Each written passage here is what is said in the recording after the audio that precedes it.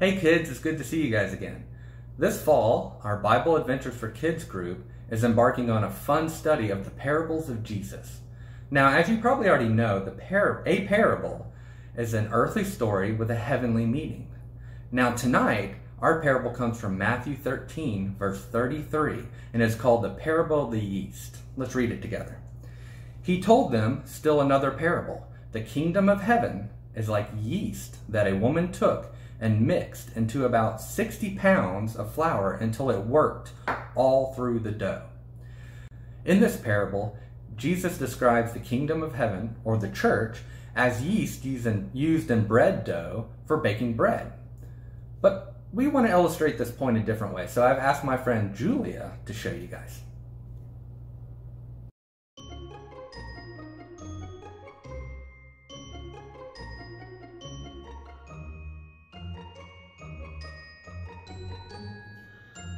Kids, I'm Julia and welcome to the Art of Bible Baking. In today's episode, we will be covering the parable of the yeast. And in honor of this parable, we will be baking the humble yet delightful yeast bread. Now, the yeast is the star of today's show. And as you probably know uh, from your extensive baking experience, uh, yeast is a single-celled organism that is much akin to mushrooms. As you can see, this is a, a mixture of warm sugar water and yeast. You'll notice the, the frothy, foaming nature on top. That is carbon dioxide that's being produced as the yeast breaks down the starches uh, in the sugar. Now, the good Lord gives us the next set of instructions. The kingdom of heaven is like yeast that a woman took and mixed with 60 pounds of flour and it worked through the whole dough. So we are going to take our mixture of yeast and, and sugar and we are going to add about four cups of flour to it. So I'm going to mix it in little by little.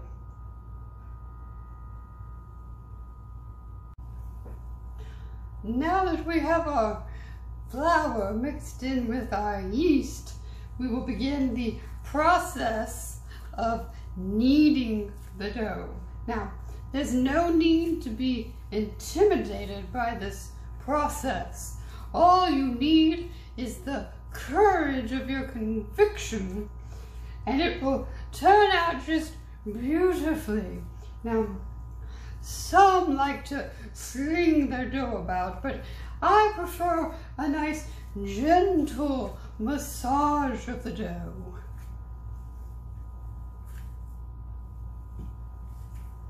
You will do this process for about 10 minutes.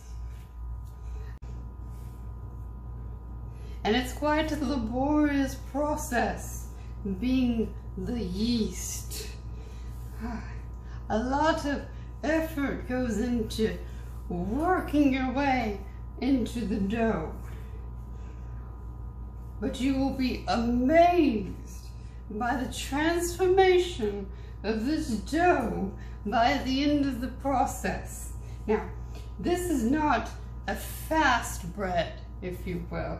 This is not like uh, the Passover bread that was that was unleavened. That's a much faster process. You don't have to knead the bread so vigorously or wait for the bread to rise like we will have to do. Okay, ah, that's looking about done. So now here is our dough and it's all kneaded and ready to rise. So put the dough in a grease bowl and we'll take this bowl and put it in a nice warm draft-free place like uh, your proving drawer.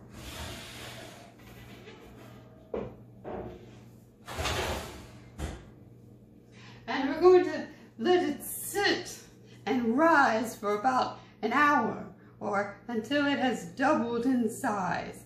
Uh, so you can take that opportunity to catch up on your Netflix or, or read a good book or maybe even read about the parable of the yeast. Uh, we'll be back. The kingdom of heaven is like yeast that a woman took and mixed into about 60 pounds of flour until it worked through all the dough. It's been one hour that we've allowed our bread to rise and we are going to take it out of the bowl and we are going to place it on the countertop and we will roll the dough into a large rectangle.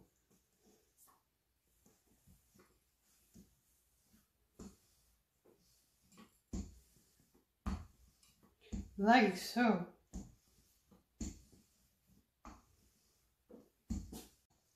Now, once we have our dough rolled out flat, we are going to very carefully and tightly roll it into a cylinder like so.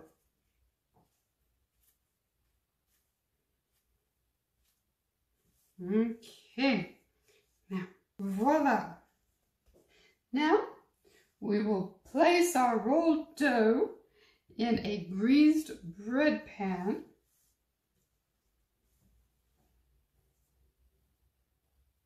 and it's back to the drawer for this little one. What an accomplished woman. 60 pounds of flour. Make no mistake, that woman must have had biceps like tree trunks. We're back! Our dough has risen for an hour and now it is time to put it in the oven at 350 for about 45 minutes or until golden brown.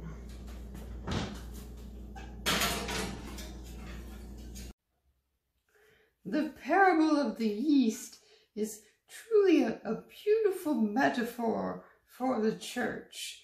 Through time and, and hard work and patience, the church is able to influence the lives of, of individuals and to change their character over time. Let's try to be the yeast in the lives of our friends and our family. And the moment of trauma arrives. Ah, yes. Golden brown.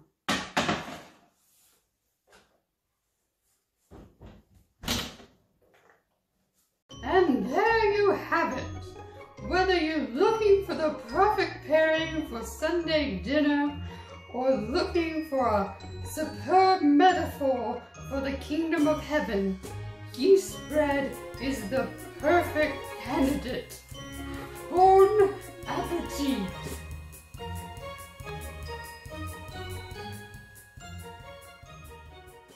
Wasn't that delightful? I'm hungry, and I bet you are now too. So let's recap this parable and see what we can learn. The kingdom of heaven is the church, and it is compared to yeast. And well, what we know about yeast, we can take that and learn a few simple but profound lessons. Number one, the kingdom of heaven had small beginnings, but it will spread. You see, yeast is a tiny thing. It's a tiny organism in the bread, but it spreads throughout it and makes the dough rise. Think about it. The early church started with only 12 men, but those 12 men spread the church throughout the world, and it continues to spread today. Number two, the kingdom of heaven works over time to change our hearts and influence others with the gospel. Early church leaders were called those who had turned the world upside down. Their evangelism efforts had started to change the culture around them to abandon their pagan beliefs and to follow Jesus. So, how can you allow the church to influence you, and how can you influence those around you and influence those in the church? Well, let's look at a few things. Number one, study the Bible and pray for God to plant His Word in your heart. Number two, be active in church activities to give and receive encouragement. Number three, be a good example to others at school and at home. And number four, and this one's a biggie, tell someone about Jesus. We all need to hear about Jesus.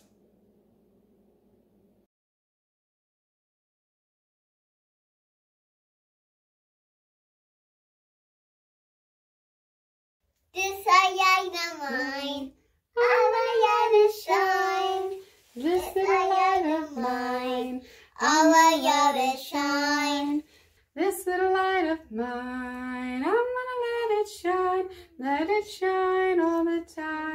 let it shine. Hide it under a bushel, no, I'm gonna let it shine. Hide it under a bushel, no, I'm gonna let it shine. Hide it under a bushel, no, Our light is shine. let it shine the time, let it shine. Don't let Satan fit out. Fit out. I'm gonna let it shine. Don't let Satan it out. I'm gonna let it shine. Let it shine all the time. Let it shine.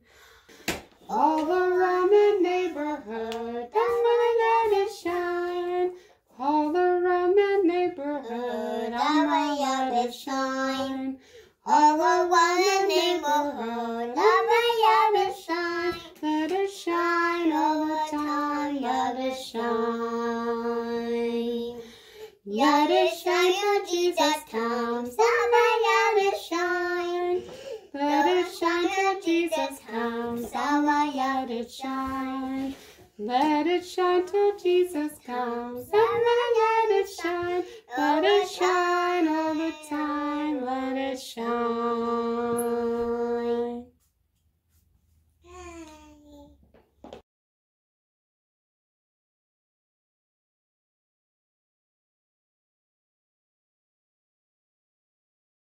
Is sitting your right sign for others that that they see your deeds and do for your Father in heaven.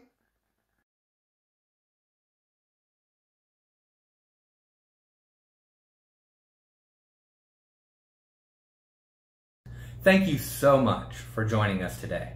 And if you have any more questions or you want to talk about this parable more, ask your parents. I know they would be delighted to talk to you about Jesus and his parables. Before we leave, let's pray. Our Heavenly Father, we come before your throne. God, you are a great God, and we love you, and we are so very grateful for all the parables that you gave us in your word. Through these parables, we can learn about you, we can learn about your church, and we can learn about how you want us to live in this world.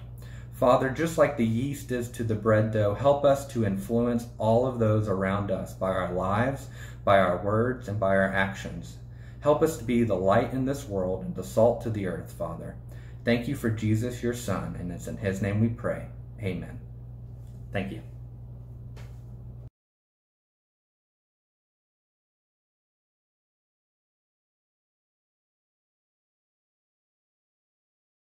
I know. One more time. I am mine. I am a sign. This I am mine. Never am a sign. This I am mine. Never am a sign. Am a sign over time. Am a sign. How a person doesn't know. Ah, ah, ah.